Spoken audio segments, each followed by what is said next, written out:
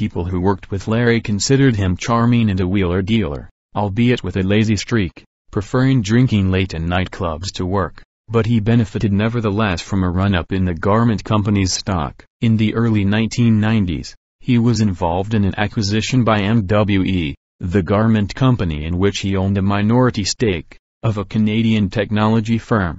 The deal overvalued the target firm, and Larry arranged for some of the excess cash to go into an offshore bank account he controlled. Using such accounts, often owned by anonymous shell companies set up in places like the British Virgin Islands, was common for Malaysian companies at the time. The younger Lows learned from their father about this world of offshore finance, and Mei Lin, Low's sister, became a lawyer with an expertise in offshore vehicles. When he uncovered that Larry had funneled off the money, the owner of MWE was furious and, not long after, Larry sold his stake in the company.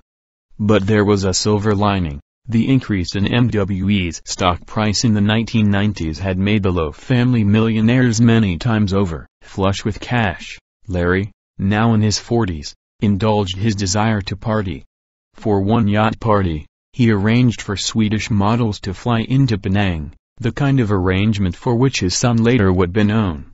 The family was a big fish in a small pond and acting the part. Larry drove around town in a Lexus, and was a member of the Penang Club, an exclusive sports club founded by the British in 1868 and whose members included well-known business families and politicians from the island. The younger Low was a keen swimmer, often doing laps on Sundays in the pool by the ocean before eating a Chinese dinner with his family.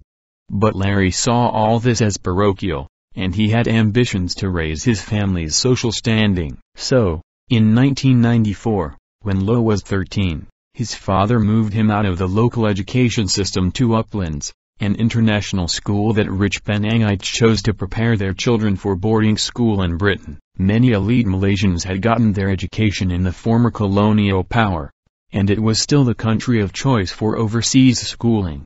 Larry Low chose to put down roots in England. Around this time, developers of a new gated community in London's posh South Kensington neighbourhood began to advertise in Malaysia.